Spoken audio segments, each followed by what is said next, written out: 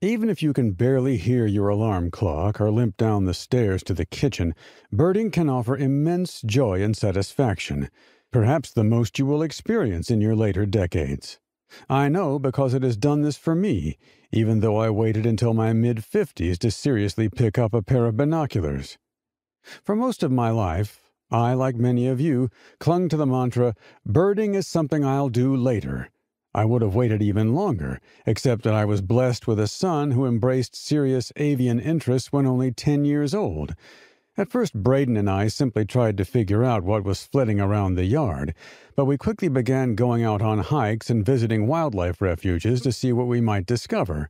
We were greatly inspired by the hilarious movie The Big Year, starring three of our favorite actors, Steve Martin, Owen Wilson, and Jack Black, and we decided to embark on our own big year adventure, seeing how many species we could rack up in the US and Canada in a single calendar year. It was one of the best decisions we ever made. Not only did we have countless adventures and make lifelong memories, we accumulated a college degree's worth of birding skills and knowledge in a single 12 month span. Unfortunately, the following year, disaster struck. Up until then, my sensory systems had functioned fairly well.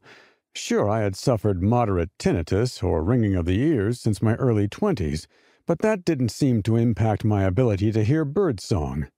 However, the summer after our big year, Braden, his birding buddy Nick, and I were all visiting Bowdoin National Wildlife Refuge in eastern Montana.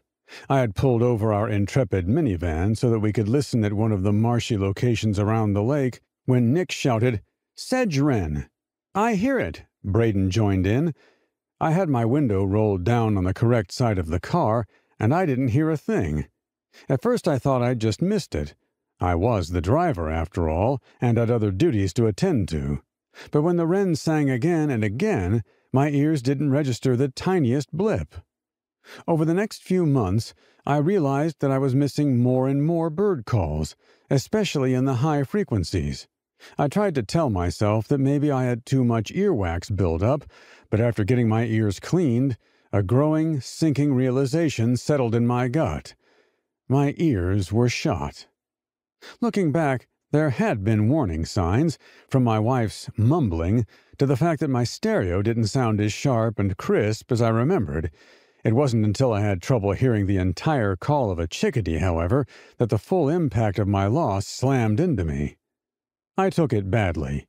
I shook my fists at the hearing gods. I cursed my late father for taking me out to shoot shotguns without ear protection. I lamented long evenings listening to the live version of the Rolling Stones' Midnight Rambler through headphones with the volume cranked up. Finally, I got fitted with a pair of hearing aids.